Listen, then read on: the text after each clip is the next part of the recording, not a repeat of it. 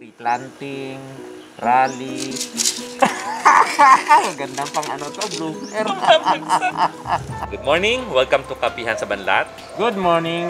Welcome to day 18 of Metro Manila's Enhanced Community Quarantine. Ang pag-uusapan natin yung types of photo assignments na Alright. binibigay ng mga ah, chief photographer or ng photo editor sa mga photographers nila. Okay, so ang gagawin natin, i-discuss mo yung photo assignments at Mhm. pipilitin natin i-connect ito kung paano natin maituturo sa mga bagong photographers ng PAN. Oo. Babatiin natin ang ating mga kaibigan.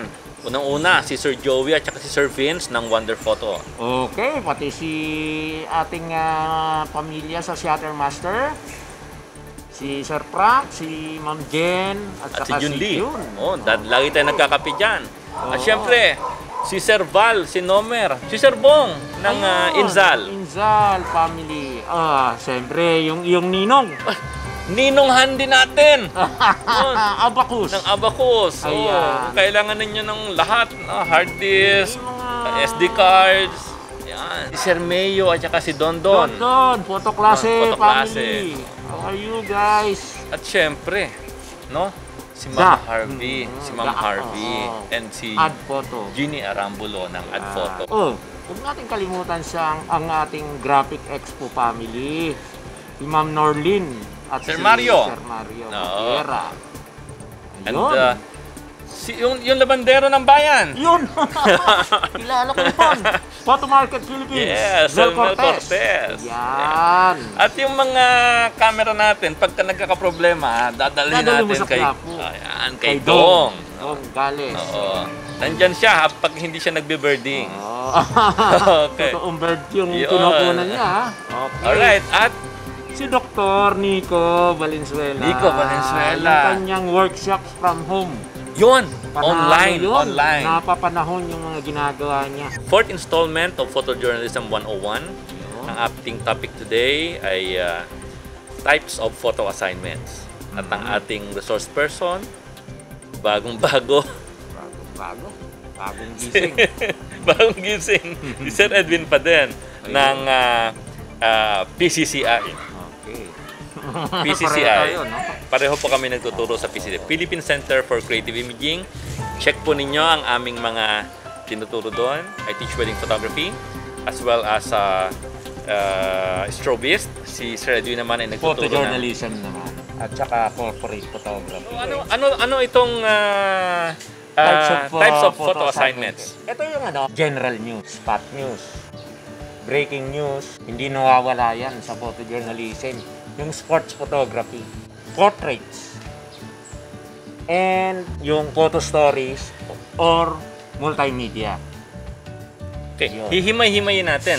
Simulan natin sa general news. Ito yung mga planado na event like press conference. Yung rally kasi, uh, unless lightning rally, yung mga PR ng mga organization, pinadadala nila sa mga news organization, oh, magkakaroon kami ng rally sa May US Embassy. notice, may notice sa Oo. mga agency. Oh, punta kami. O, kung- depende sa issue. Like, Alam mo ah, kung saan, alam mo kung oo, anong oras, Labor Day. sino ang pupunta doon. Yun, oo. So, Alright. ah, planado. Halimbawa, dito sa ating app, merong news management doon. Mhm. May notification tayo sa lahat ng mga photographers. Makikita nila, tutunog yung kanilang app. May mangyayaring rally dito sa lugar na to. O kung anong oras. Anong oras? Sino-sino yung mga dadating. Okay. So, manonotify natin yung mga freelance photographers natin at alam nila na dapat silang pumunta doon Yeah. kung, kung kung malapit sila. So kung taga-area kayo, walking distance or may bisikleta kayo, makakapunta kayo doon. Meron kayong pass. Oo. No, meron kayong quarantine yung pass. That's the time you can practice the that uh, ano, particular event, yung general news. Ang general news nga, ah, ito yung mga planado. Like, uh, alimbawa, yung photographer ng dyaryo, o punta ka sa Manila Hotel at 7 uh, p.m. merong sports award put, uh, event doon. Planado lahat ng uh, uh, nangyayari under the general news Okay. category. Ano naman itong spot news? Spot news, ito yung unplanned event.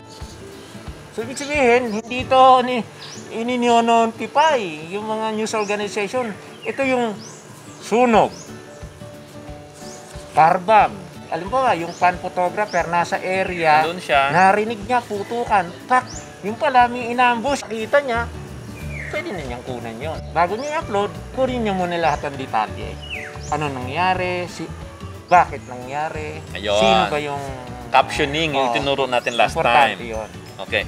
So, ang gagawin ng photographer ng Pond is i-upload sa Pond News Asia website Mhm. nandito sa ilalim ng screen. So, sila mag inform sa Pond na may nangyari na Oo, ganito yun. sa pamagitan ng picture nila. Ang trabaho ng Pond naman is ipapasa ito Sa mga, Sa- sa mga client ng fan. client. Pag dinownload ng news agency yung picture, then that photographer gets paid. Hindi kagaya ng nilagay mo lang sa Facebook mo, pag ginamit nila. Thank you.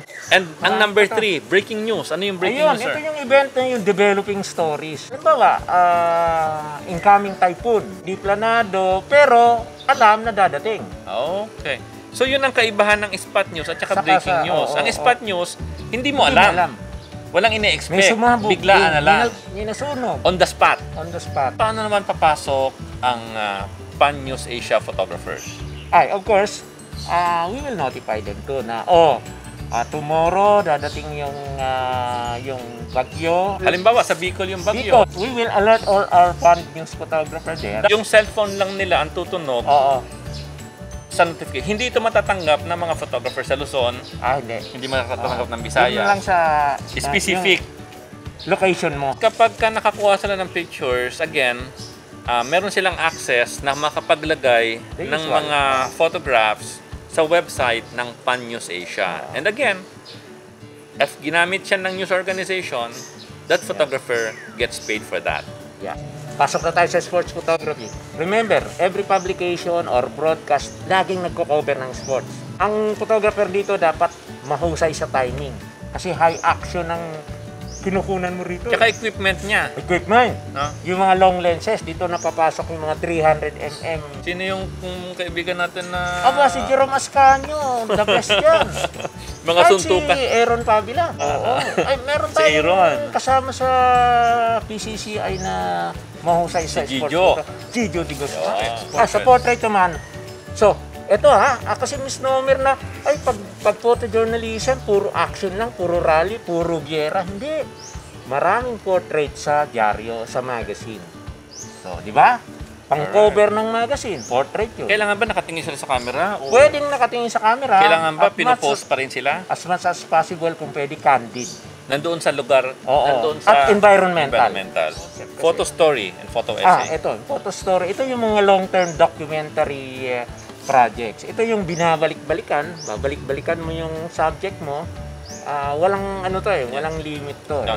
Okay, hindi natin masyado discuss yung photo story kasi we will have bigyan natin one ng- for that. Ayun, Ah, yung yeah. sa So, doon 500 years. yeah, 500 Oo, years. okay. Next year yun, ano? 500 Ah, so, magiging project yan ng pan. Ayun.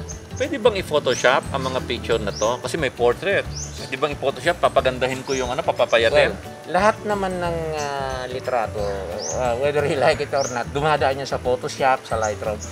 Pero may limitation. Sa photojournalism, documentary at street photography, bawal ang over Photoshop.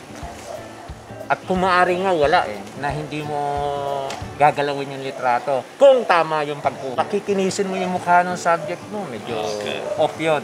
So, uh, very simple na correction. Ah, simple lang. Global. ika. So, bawal dito yung parang sa election, yung dagdag bawas. Ay, oh, bawal. Nasa daan po kami, may nagmumotor. Oo. Ito ang studio namin eh. Ano eh. We'll see you again tomorrow sa continuation natin ng uh, Photojournalism 101. Be safe. Stay home. And God God bless bless. everyone.